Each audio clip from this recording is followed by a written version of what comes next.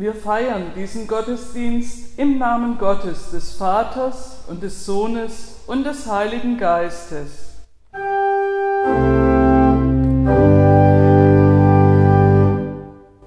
Lieder, die bewegen, so heißt die diesjährige Predigtreihe hier in Zuffenhausen und Zatzenhausen. Heute ist der letzte Sonntag. Every Breath You Take von Police steht im Mittelpunkt und dabei ist Judith Giesel von der Beratungsstelle Kompass. Sie wird mit mir in der Predigt über dieses Lied nachdenken.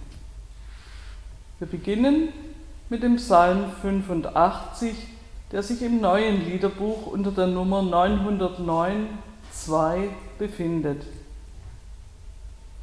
könnte ich doch hören, was Gott der Herr redet, dass er Frieden zusagte seinem Volk und seinen Heiligen, auf dass sie nicht in Torheit geraten. Doch ist ja seine Hilfe nahe denen, die ihn fürchten, dass in unserem Lande Ehre wohne, dass Güte und Treue einander begegnen, Gerechtigkeit und Friede sich küssen, dass Treue auf der Erde wachse und Gerechtigkeit vom Himmel schaue, dass uns auch der Herr Gutes tue und unser Land seine Frucht gebe, dass Gerechtigkeit vor ihm hergehe und seinen Schritten folge.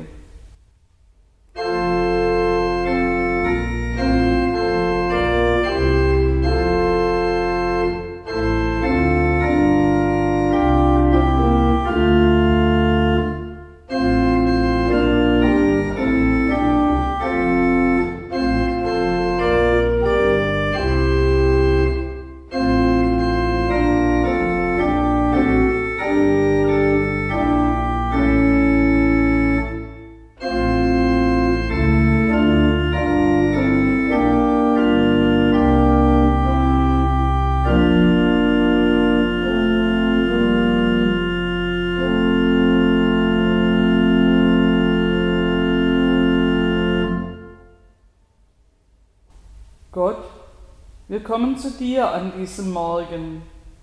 Wir bringen dir, was uns beschäftigt, diese Zeit, die so anders ist als das, was wir kennen. Wir bringen dir unsere Sorgen und das, was uns Mühe macht. Nimm du es in deine Hand und verwandle es zum Guten. Wir bringen dir unsere Beziehungen.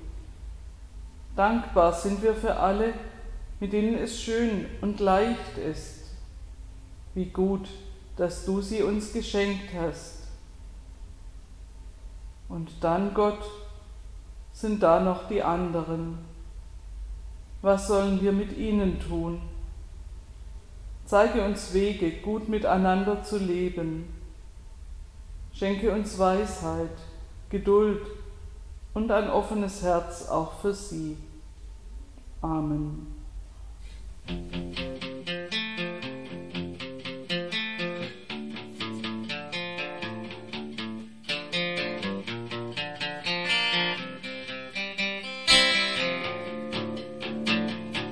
Every breath you take, every move you make, every breath you take tröpfelt's mal wieder aus dem Radio. Längst bekannt dieses Lied, gefühlt spielen sie das schon immer. Doch plötzlich höre ich genauer hin, übersetze mir in Gedanken, was ich da höre. Jeden Atemzug, jeden Schritt, den du machst, überwache ich. Und ich merke, das ist ja gar kein schnulziges Liebeslied. Das beschreibt doch perfekt die Gedanken eines Stalkers eines Menschen, der sich mit einer Trennung nicht abfinden will, der die Person, die nichts mehr von ihm wissen will, weiter und weiter verfolgt. Eine junge Frau fällt mir ein. Sie hat mir am Telefon erzählt, dass sie sich angewöhnt hat, bevor sie losfährt, jedes Mal erst einmal um ihr Auto rumzulaufen und zu kontrollieren, genau zu schauen, ob sich nichts verändert hat. Sie hat Angst. Angst, dass er ihr etwas antut, weil sie nichts mehr von ihm wissen will. Die Beziehung war nur kurz. Sie hat sie schnell wieder beendet. Aber er will sie nicht loslassen, überwacht sie, bringt ihre Freundinnen gegen sie auf. Jeden Atemzug, jeden Schritt überwache ich. Mir läuft's kalt den Buckel runter. Ich bekomme Gänsehaut. Lieder, die bewegen, können auch so klingen. Every move you make, every bound you break, every step you take, I'll be watching you. Every single day. Ja, auch ich summe dieses Lied immer mit. Eine eingängige Melodie. Und ja, ich erlebe in meiner täglichen Praxis in der Beratungsstelle immer wieder Menschen, vor allem Frauen, die Formen von psychischer oder physischer Gewalt ausgesetzt sind. Gerade in den letzten Wochen und Monaten kam es vermehrt zu Übergriffen aufgrund von Enge und zu wenig Ausweismöglichkeit. Und ich erlebe Nachbarn, die wegschauen, denn was in anderen Familien passiert, geht uns nichts an. Gewalt in Familien zieht sich durch alle gesellschaftlichen Schichten. Es ist kein Phänomen, das nur sozial bzw. finanziell schlechter gestellte Familien betrifft. Und es gibt sie nicht selten, die Gewalt und Unterdrückung zwischen Partnern. Im Alltag manchmal ganz subtil, wenn mein Mann meine Freundin nicht mag und schlecht gelaunt ist, wenn ich sie treffen will. Oder in der Steigerung offen, wenn er mir den Umgang mit ihr verbietet. Und es gibt auch Gewalt und Unterdrückung zwischen Eltern und ihren Kindern. Vor kurzer Zeit kam eine Frau mit ihrer sechsjährigen Tochter zu mir. Sie erzählte davon, dass Maria ihr Wunschkind sei. Sie hatte spät bekommen und sich noch während der Schwangerschaft von dem Mann getrennt. Und sie erzählt, wie wichtig dieses kleine Mädchen für sie ist, wie sehr sie es liebt und immer beschützen will. Und dass sie weiß, was für ihr Kind am besten ist. Was ich vor mir sehe, ist also eine besorgte und liebevolle Mutter. Als ich sie frage, was ich denn für sie tun kann, zeigt sie mir den Gerichtsbeschluss. Das Sorgerecht wurde ihr teilweise entzogen, da sie die Tochter selten in den Kindergarten und nicht zu vorgeschriebenen Untersuchungen bringt. Auch die Anmeldung für die Schule hat sie vergessen. Versuche vom Vater und dem Jugendamt, sie in ihrer Fürsorgepflicht zu unterstützen, liefen ins Leere. Die Mutter sieht die Tochter als einen Teil von sich. Ihre Liebe ist so eng, dass sie dem Kind schadet. Every single day, every word you say, every game you play, every night you stay, I'll be watching you.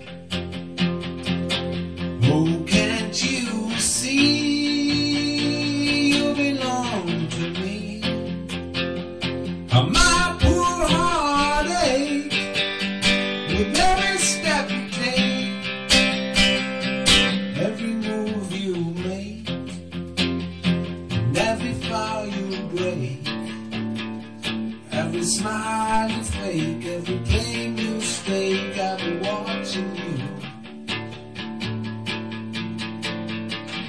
Since you're gone, I've been lost without a trace. I dream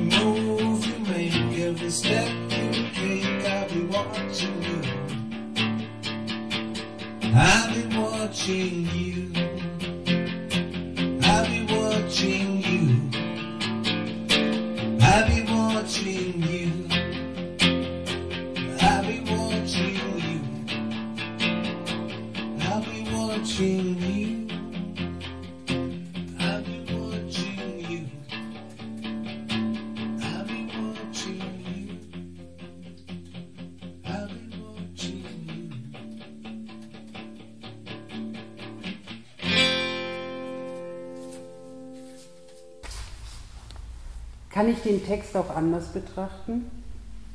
Bei jedem Atemzug, bei jeder Bewegung, bei jedem gebrochenen Versprechen, bei jedem Schritt, ich werde dich beobachten. Haben wir nicht alle den Wunsch, dass da einer ist, der uns sieht, der unsere Schritte begleitet, auf uns achtet? An jedem Tag, bei allem, was du sagst, jedem deiner Spiele, jeder Nacht, die du verbringst, ich werde dich beobachten. Merkst du denn nicht, du gehörst zu mir, wie mein armes Herz schmerzt bei jedem Schritt, den du machst? Vielleicht ist es ein tiefes Beziehungsbedürfnis, dass da einer ist, bei dem wir uns sicher fühlen dürfen, der sich für unser Tun interessiert, wo wir uns fallen lassen können und gehalten werden. Wir wollen für andere, aber vor allem für unsere Partner bedeutsam sein und suchen nach Menschen, die uns annehmen und schützen.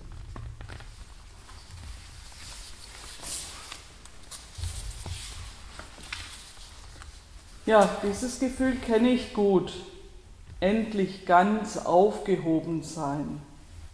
Keine blöden Missverständnisse mehr, kein Streit. Endlich jemand, der mich so versteht, wie ich bin. Der weiß, was ich brauche, was ich fühle. Gerade wenn ich angeschlagen bin, wenn ich verletzt bin, dann wächst die Sehnsucht nach so einer Geborgenheit. Aber mit Menschen klappt das ja nie ganz. Für Augenblicke ja, dann ist das wunderschön. Ich bin auf Wolke 7 und wünsche mir, dass es für immer so bleibt. Doch wieder und wieder werde ich enttäuscht. Der andere ist doch nicht so, wie ich es mir erhoffe, und ich falle aus allen Wolken, wieder einmal. Sekten aller Art spielen mit dieser Sehnsucht, locken Menschen an, umsorgen sie, schenken ihnen umfassende Geborgenheit und absolute Aufmerksamkeit und lösen sie dabei aus ihrem bisherigen Umfeld. Dann fangen sie an, Bedingungen zu stellen. Wenn du diesen und jenen Einsatz bringst, dann sind wir weiter so für dich da. Wenn du diesen Kurs belegst, dich noch mehr einbringst, dann wirst du wieder so wie am Anfang von unserer Liebe umhüllt. Aber immer ist diese umfassende Liebe knapp außer Reichweite. Wie beim Esel, den man mit der leckeren Karotte weiter und weiter lockt. Wieder eintauchen dürfen in dieses Gefühl, rundum geborgen zu sein.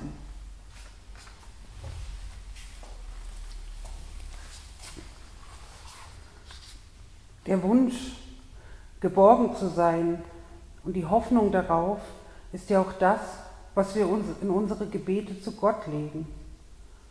Und diese Hoffnung und die Sehnsucht ist groß. So wie damals bei den Menschen in Jerusalem, als auch heute hier bei uns. Die Sehnsucht nach einem, der Leiden wirklich lindern kann. Nach einer Welt, in der Blinde sehen und Lahme gehen können. Nach einem, der uns von Rückenschmerzen befreit, vielleicht sogar vom Ärger mit den anderen, von all den Plagen, Ängsten und Unzulänglichkeiten. Sehnsucht nach einem, der uns die Probleme unserer Zeit ein bisschen erträglicher macht oder sie uns am besten gleich ganz abnimmt. Aber Jesus nimmt uns diese Verantwortung nicht ab. Jesus will kein König im weltlichen Sinne sein. Seine Macht ist nicht von dieser Welt.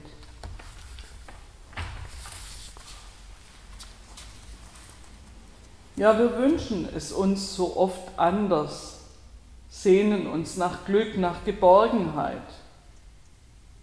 Bei Gott sind wir mit unserer Sehnsucht an der richtigen Adresse. Er missbraucht unser Vertrauen nicht wie ein Stalker. Er zwingt uns seine Nähe nicht auf, aber er verspricht uns, ich will euch trösten, wie einen seine Mutter tröstet. Zu Gott können wir kommen, wenn wir wieder mal gestolpert sind in unserem Leben. Ihm können wir unsere Verletzungen bringen, uns in seine Arme fallen lassen mit unserem Schmerz. Für Gott müssen wir uns nicht größer, nicht toller und nicht tapferer machen, als wir sind. Denn Gott trägt uns und hält uns so, wie wir sind, mit allen Fehlern und Macken. In Gottes Augen sind wir heil, ganz und gut. Und deshalb freut sich Gott mit uns, wenn es wieder aufwärts geht. Gottes Liebe gilt übrigens auch für Stalker, für die Menschen, die nicht darüber hinwegkommen, dass ein geliebter Mensch nichts mehr mit ihnen zu tun haben will. Auch sie sind ja voller Sehnsucht, voller Verletzungen. Ihre Art, wie sie damit umgehen, ist nicht die beste. Sie machen ihren Opfern Angst, engen sie ein. Aber dahinter steckt ein wichtiges Bedürfnis. Gesehen werden, wahrgenommen werden, kurz geliebt werden. Allerdings versuchen sie diese Liebe zu erzwingen und das kann nicht funktionieren. Aber trotz allem sind auch sie bei Gott willkommen. Nicht, dass Gott es gut findet, andere Leute mit Überwachung zu quälen, aber Gott sieht, was sie brauchen, sieht ihre Not, ihre Bedürfnisse und öffnet ihnen neue Wege, macht neue Anfänge möglich.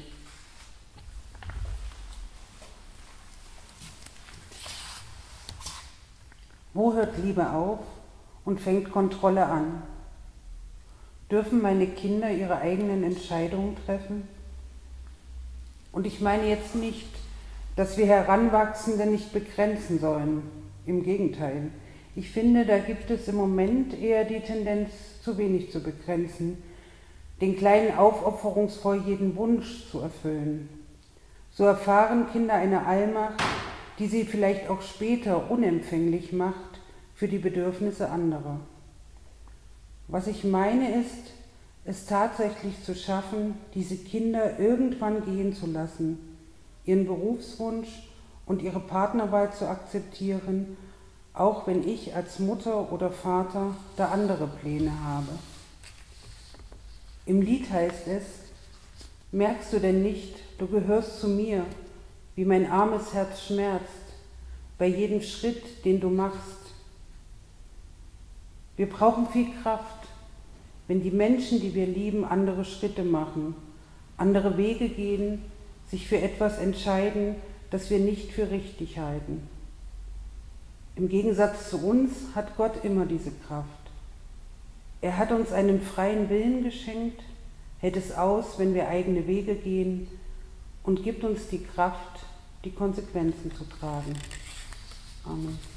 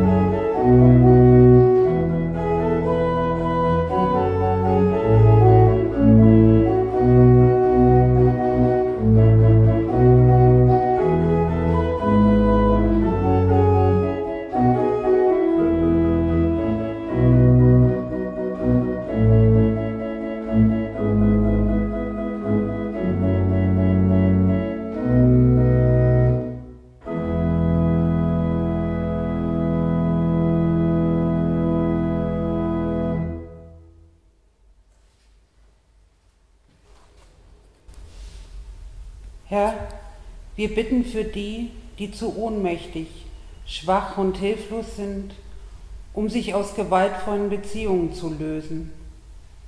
Lass sie Menschen finden, die ihnen die Erlaubnis zum Wachsen geben und helfen, das Unerträgliche auszuhalten und sich irgendwann daraus zu befreien. Schenke den Nachbarn Mut, dorthin zu schauen, wo Unrecht geschieht und es aus anzusprechen. Lass sie nicht wegschauen und schweigen.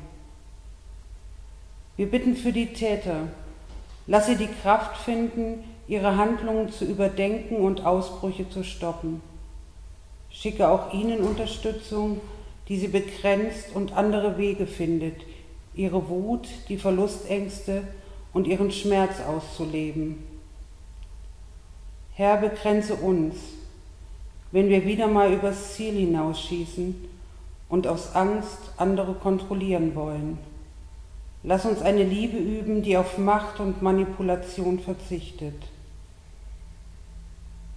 Herr, schenke uns Beziehungen als einen Ort, wo wir sein können, ohne den Respekt und die Zuneigung der anderen Person zu verlieren. Hilf, unser Miteinander so zu gestalten, dass wir das Gefühl haben, wertgeschätzt und bedeutsam zu sein. Diese Bitten und unsere Gedanken nehmen wir mit in dein Vater unser. Vater unser, der du bist im Himmel, geheiligt werde dein Name, dein Reich komme, dein Wille geschehe, wie im Himmel, so auf Erden. Unser tägliches Brot gib uns heute und vergib uns unsere Schuld, wie auch wir vergeben unseren Schuldigern. Und führe uns nicht in Versuchung, sondern erlöse uns von dem Bösen. Denn dein ist das Reich und die Kraft und die Herrlichkeit in Ewigkeit. Amen.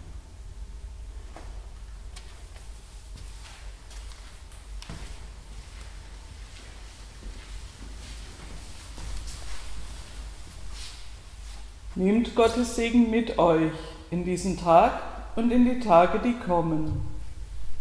Der Herr segne euch und behüte euch. Der Herr lasse sein Angesicht leuchten über euch und sei euch gnädig. Der Herr erhebe sein Angesicht auf euch und gebe euch Frieden.